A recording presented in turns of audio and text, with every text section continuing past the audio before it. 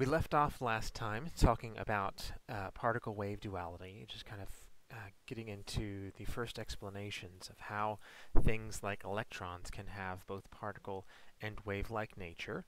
Um, and this is a topic that is relatively new in science. It's only been around for the last hundred years or so. Um, and so when it was first, oops, too far, uh, when it was first uh, discovered, when was first uh, proposed, that you could have things that sometimes behave like a wave and sometimes behave like a particle, um, scientists were naturally and justifiably skeptical, uh, skeptical that um, a particle could behave like a wave in some situations. And so they designed an experiment, and there were actually multiple experiments that were done. I'm just going to describe one of them here just for the sake of time um, they designed an experiment to try and explain why, when you shoot electrons at a double slit, the double slit uh, experiment gives you a diffraction pattern like a wave for those electrons. Their idea was maybe um, when a uh, when the electrons are being shot at this uh, double slit, they're kind of bumping into each other or they're repelling each other, and so then you get this what looks like a diffraction pattern, but it's not actually a diffraction pattern. And so they shot electrons one at a time at the double slits. So they would do one at a time, one after the other after the other, at these double slits. And what they saw was that the electrons still behaved like a wave. What that means is that when the electron was moving towards the double slits here, it didn't just go through one side or go through the other side. Um, it went through both slits simultaneously and interfered with itself to produce the interference pattern on the detector. Now it's actually a little bit stranger than that actually that not only does it go through both and interfere with itself, but it uh, goes through just one, just the other. It actually does all of the above. Um, it does all of the possible things that it could do, uh, and what you see on the detector on the back side is uh, as a result of that is a, essentially a, a summation of every every possible thing that could happen to the electron. Um, and so scientists kind of taking that a step further thought, well, if the electrons are splitting and going through both slits at once, let's see if we can watch them do that. And so they thought they were being sneaky and they put a detector, uh, it's actually a laser, um, that uh, will give a signal when an electron passes through it. They put it right past those double slits. So if the electron is going through the two slits simultaneously, if it's uh, acting like a wave and going through both and interfering with itself, they should be able to see that they thought. But what happened was as soon as they put the detector behind that double slit, the electrons went back to behaving like particles, as if they had been particles the entire time. So if the detector was not here and they were just impacting uh, the screen on the opposite side, they behaved like a wave. If you tried to detect them behaving like a wave, they say nope, and they go back to acting like a particle.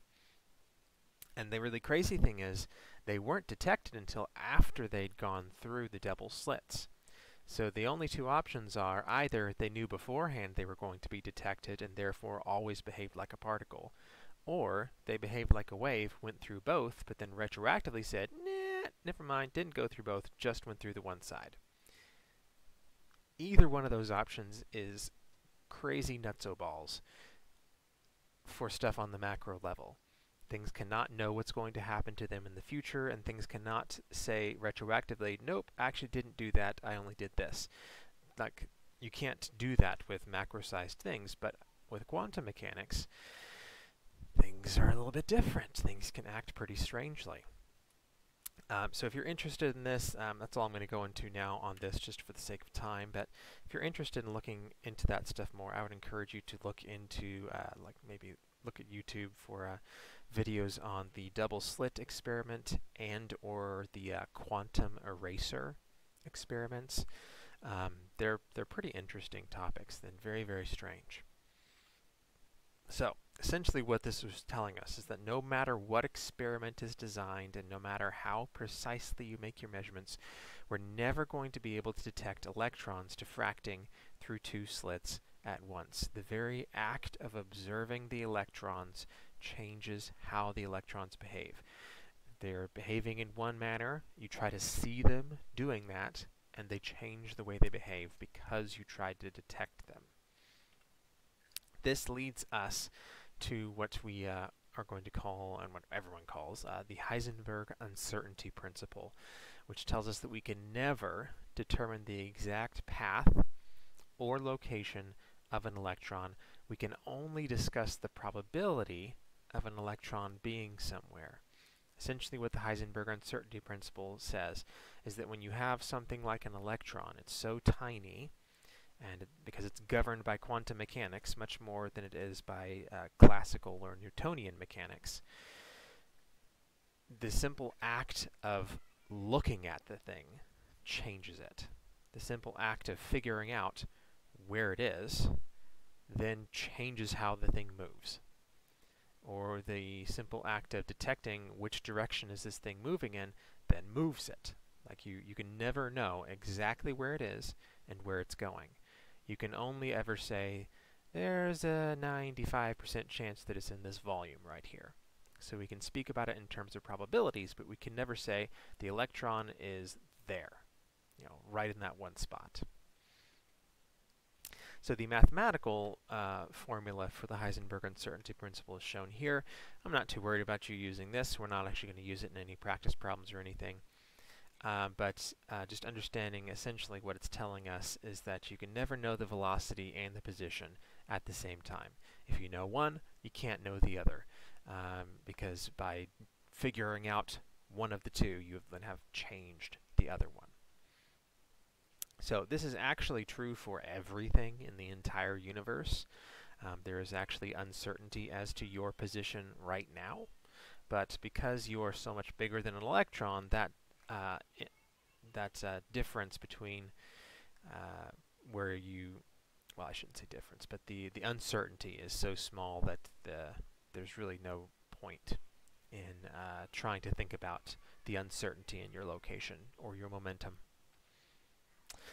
So this then leads us to determinacy versus indeterminacy.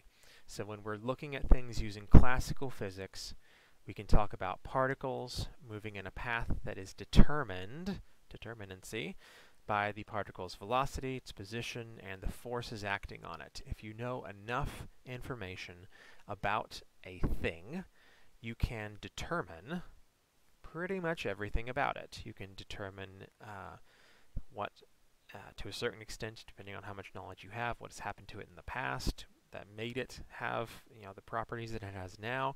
You can uh, determine its future. So you know if you have, we're going to see an example in just a second of a pitcher throwing a baseball. If you know enough information about that baseball, if you know uh, what the friction coefficient between the pitcher's fingers and the baseball were, if you know the exact amount of force that he applied at certain points, and you know the wind that is moving, like you can predict absolutely what is going to happen to that baseball if you have enough information. When it comes to electrons, though, and really tiny things like that, we can't predict those things uh, because we could never know the position and the velocity. Like, we could never know all that information about an electron, which then leads us to indeterminacy here. This is an indefinite future we can't say exactly where it's going to be and exactly what it's going to be doing. We can only talk about probabilities. We can only say there is a 99% chance that the atom or that the electron is in this volume of space around the atom.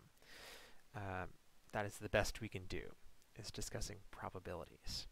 Um, and we're going to find these regions where we have these 99 plus percent chance of finding the electron using uh, statistical functions.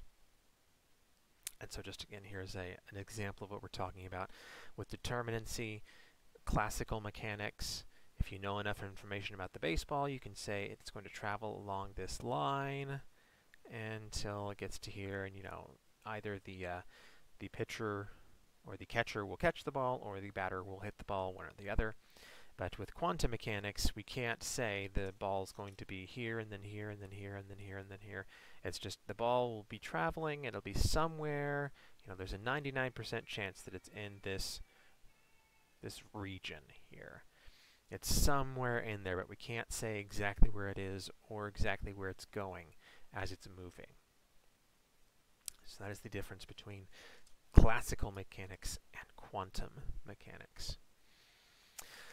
So, thinking back to the electron again, for an electron with a given energy, the best we can do is describe a region in the atom of high probability of finding uh, that electron.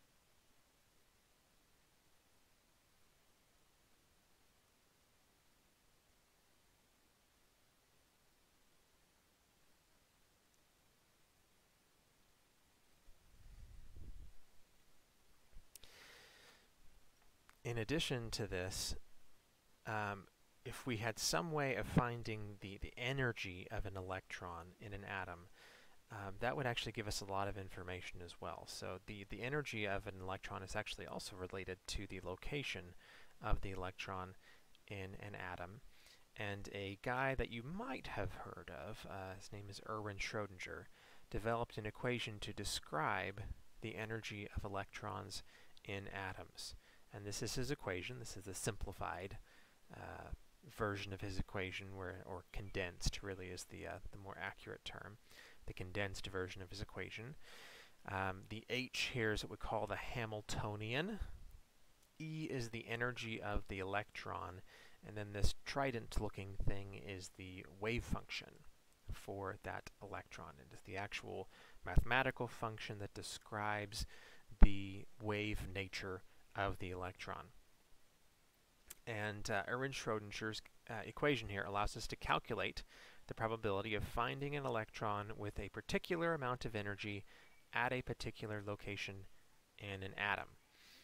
And what's even more useful here is if we take this wave function that describes the wave nature uh, of the electron, and we square that wave function and we plot it versus uh, distance versus the, the actual physical volume of the atom, it actually gives us a probability distribution map of regions where the electrons are likely to be found. It is literally a 3D shape is what that uh, graph gives you. And that 3D shape tells you where the electrons are most likely to be. So when we take this wave function, we square the wave function and we plot it versus distance, that gives us a 3D representation of the volume of space where the electron uh, is most likely to be. Um, and these wave functions that we use to develop these 3D spaces, which we're going to call orbitals from this point forward. Um, so the orbitals are where electrons sit in an atom. Uh, the wave functions that we use to make these uh, there's a whole bunch of them. Um, this uh, Schrodinger's equation produces many different wave functions, and the different wave functions are associated with different values of, of energy. So that the higher the energy of the electron, um, you'll have uh, different uh, wave functions as a result of that, uh, just depending on how much energy the electron has. So, when we take a look at that Schrodinger's equation. And we start to actually look at the equation itself, which we're actually not going to do here, but just uh, let's pretend like we were. We're looking at an equation, uh, like at the Schrodinger's equation, and we're looking at the wave function from that equation. What we would notice is if you looked at a bunch of those equations for uh, electrons at different energy levels, there'd be a whole bunch of just kind of blah, blah, blah, blah, blah stuff, and then you would find uh, some integer value, like maybe 1.